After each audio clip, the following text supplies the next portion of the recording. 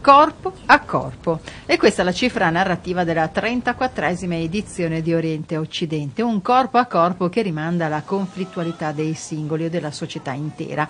Nel centenario dello scoppio della Prima Guerra Mondiale non poteva essere che questo il fil di Oriente Occidente 2014, di scena a Rovereto e a Trento dal 30 agosto all'8 settembre. Un tema ancora più simbolico a Rovereto, dove una campana originata dalla fusione di cannoni delle 19 nazioni che combatterono la Grande guerra, quotidianamente la ricorda con i suoi rintocchi ed è monito perenne di pace.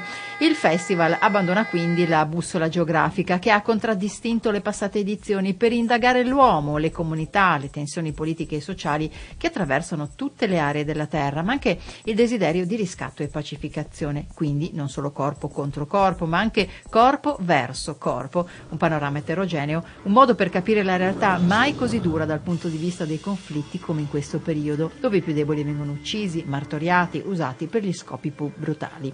Un panorama eterogeneo, un modo per capire la realtà mai così dura dal punto di vista dei conflitti come in questo periodo dove i più deboli vengono uccisi, martoriati, usati con gli scopi più brutali. Gli autori arrivano dall'Europa, dall'Africa subsahariana, dalla Venezuela e dal Medio Oriente con il loro bagaglio di culture, di storie da raccontare, di mondi da condividere.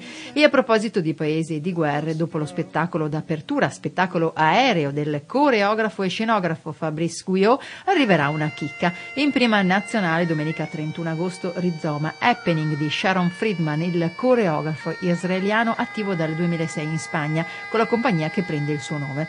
L'appuntamento è alle prime luci dell'alba, la campana dei caduti di Rovereto, partecipano una settantina di persone una decina di musicisti, una comunità danzante di gente comune che sembrerà evocare l'origine del mondo.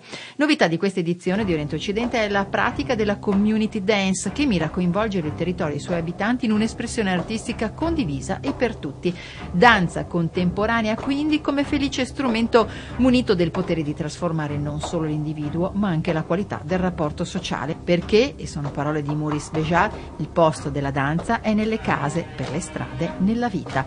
Tutti gli spettacoli e gli appuntamenti sono su orientoccidente.it.